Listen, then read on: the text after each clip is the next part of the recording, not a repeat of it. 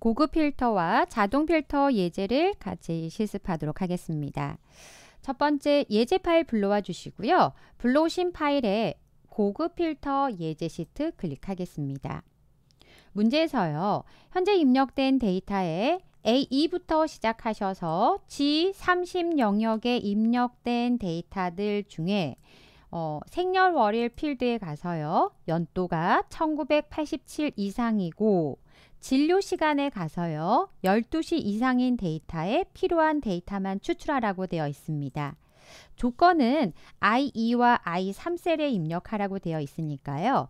I2셀에다가 조건을 입력하는데 고급 필터에서 조건을 작성할 때 음, 수식을 사용하셔야 된다라고 하시면 위쪽에 있는 필드명과 동일하게 사용하지 않습니다. 그래서 저희는 임의로 어, 수식을 사용해서 조건을 작성하기 위해서 임의로 조건이라고 필드명을 입력하겠습니다. 물론 다른 걸 입력하셔도 상관없고 비워두셔도 상관은 없습니다. 그 다음 조건을 작성하기 위해서 수식을 작성하는 거니까 등호가 필요하겠죠. 이퀄 입력하시고 어, 생년월일의 연도가 1987 이상이고 라고 되어 있다면 한 가지 조건이 아니라 두 가지 조건 중에 둘 다 만족을 해야 됩니다 라고 함수 and라는 and 함수를 입력합니다. md 함수는 안쪽에 있는 조건에 모두 만족한 데이터만 추출하겠습니다 라고 할 때 사용하는 함수이고요.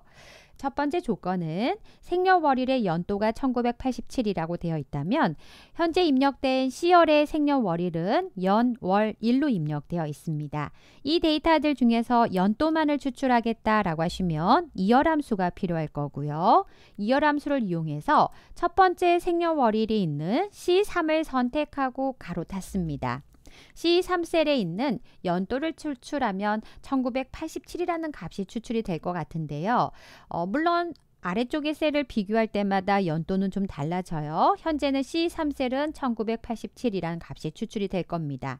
그 값이 1987, 1987 이상입니까? 크거나 같습니까? 1987이라는 어, 연도를 입력하시고 심표 첫 번째 조건이 끝났으니까 심표 입력하시고 두 번째 조건은 진료 시간에서 12시 이상입니까? 라고 할 건데요. 어, 진료 시간을 입력된 첫 번째 셀이 있는 G3셀을 선택하시고요. 12시간이라고 하면요. 음, 24시간을 숫자 1로 표현을 한다면 12시간이면 1의 반이라고 비교가 되겠죠. 그래서 1의 반이라면 0.5가 될 거고요. 그래서 크거나 같다 0.5라고 입력합니다. 네, 하루 시간을 1일은 24시간인데 하루에 24시간에 12시간이니까 아 반이구나. 그래서 0.5라고 값을 입력하시고 두 가지 조건의 입력이 다, 되셨다면 괄호를 닫고 엔터 누릅니다. 이 첫 번째 데이터는 음, 이 조건에 만족하지 않기 때문에 생년월일은 만족하지만 진료 시간이 만족하지 않았기 때문에 화면에는 false라고 표시가 되어 있습니다. 둘 다 만족하지 않았기 때문에 표시가 되는 거고요. 이 조건을 가지고 각각의 데이터를 비교해서 우리는 데이터를 추출하실 건데요. 모든 데이터를 가져오실 건 아니고요. 문제에서 제시한 생, 어, 성명과 생년월일 그래서 B2, C2, 진료 과목이 있는 E2, 그 다음에 진료 시간이 있는 G2 4개의 필드명을 선택하고 control C 눌러서 복사 결과를 추출하고자 한 위치는 I5셀입니다. I5셀에 control V 눌러서 붙여넣기 합니다. 물론 복사 붙여넣기 하지 않고요. 직접 입력하셔도 되는데 혹시나 입력하다가 오타가 있거나 뭐 불필요한 띄어쓰기를 한다거나 해서 데이터를 추출해 오지 못하는 경우가 있으니까 가능한 복사해서 사용하시면 좋을 것 같고요. 문제에서 특정 필드에 대한 언급이 없다면 미리 복사하지 않고 그냥 하나의 셀만 선택하셔서 모든 데이터를 추출해 올 수 있습니다. 이제 조건을 작성을 다 하셨다면 데이터 안쪽에 주시고요. 위쪽에 데이터 탭에 가시면 저희는 고급 필터를 실행하고자 합니다. 정렬 및 필터의 고급을 클릭하시고 현재 음, A2셀부터 시작해서 G30 영역의 데이터를 가지고 고급 필터를 실행할까요? 라고 깜박깜박합니다. 네, 범위는 맞고요. 조건 범위는 I2부터 I3 영역에 작성해 놨습니다. 다른 장소의 복사를 선택하셔야만 추출할 필드명을 선택할 수 있는데요. 다른 장소의 복사 선택하고 복사 위치에 오셔서 성명부터 진료 시간까지 선택 그리고 나서 확인 한번 누르시면 어, 화면에 이렇게 혹시 샵샵샵 표시가 된다면 열 너비를 조절해 주시면 돼요. 실행한 어, 조건에 만족한 데이터 추출된 걸 확인할 수 있고요. 어, 내가 맞게 작성을 했나? 결과 시트를 한번 클릭해 보시면 맞게 작성했는지 바로 확인하실 수가 있습니다.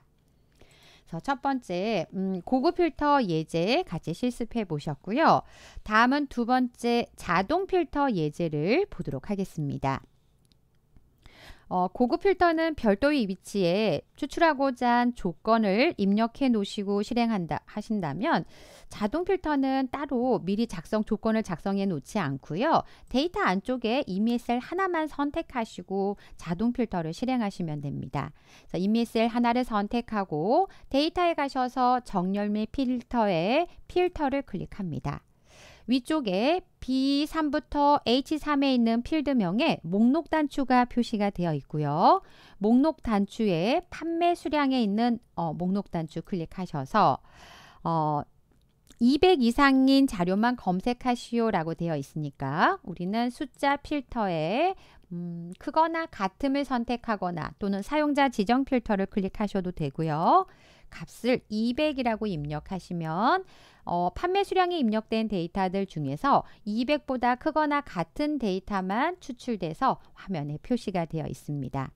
두 개의 차이점은 어, 고급 필터는 기존의 데이터는 그대로 유지가 되고 필요한 데이터를 다른 위치에 추출해 올 수 있고 자동 필터는 음, 기존의 데이터를 활용해서 내가 필요한 데이터를 추출하겠다. 기존의 데이터는 화면에서 감춰지겠죠. 그래서 왼쪽에 어, 4, 7, 11 추출된 행의 번호가 파란색으로 좀 표시가 되어 있습니다. 참고로 자동 필터를 잘못 작성했다라고 해지하겠다라고 하시면 데이터에 가셔서 지우기 클릭하셔갖고 음, 다시 자동 필터를 실행하시면 되겠습니다. 그래서 현재 1번의 고급 필터, 자동 필터의 예제를 같이 살펴보셨습니다. 수고하셨습니다.